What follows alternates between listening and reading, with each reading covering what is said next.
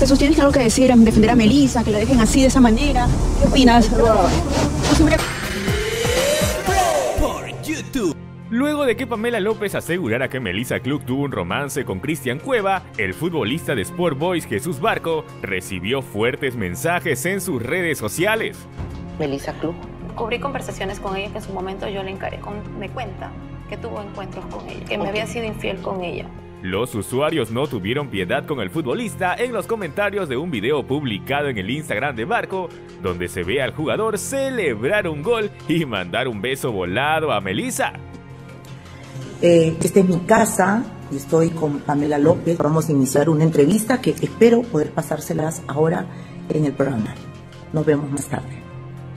Y el otro pidiendo perdón con qué joyita te quedaste. Ahora entiendo por qué quiso tener un hijo con este jovencito, o sea, le puso los cuernos a Ítalo y fue el amante de Cueva a la misma vez. Y encima jode a Farfán, esta tía es vivaza. Eres joven talentoso, cumple con tu hijita y deja a esa señora antes de que te dé algo. Melissa ya parece Power Ranger, pero tú no estás incluida en la lista de los monstruos. Jesús Barco, estás a tiempo de separarte de la Melissa.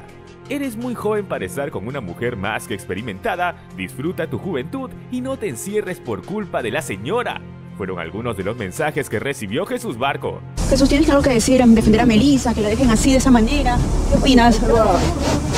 Melissa Klug salió al frente para negar que haya tenido una relación íntima con Cristian Cueva, tal y como lo afirmó Pamela López en el programa Magali TV La Firme. Estoy seguro que esta noche se van a quedar de una pieza, porque se van a enterar de lo que nos ha contado Pamela ahora. Ya no los había contado antes, pero esta vez se atreve a decirlo con todas sus letras, nombres de mujeres con las que estuvo relacionado Cristian Cueva. Tenemos más información para ti. Suscríbete, dale like y sé parte de Break. Por YouTube.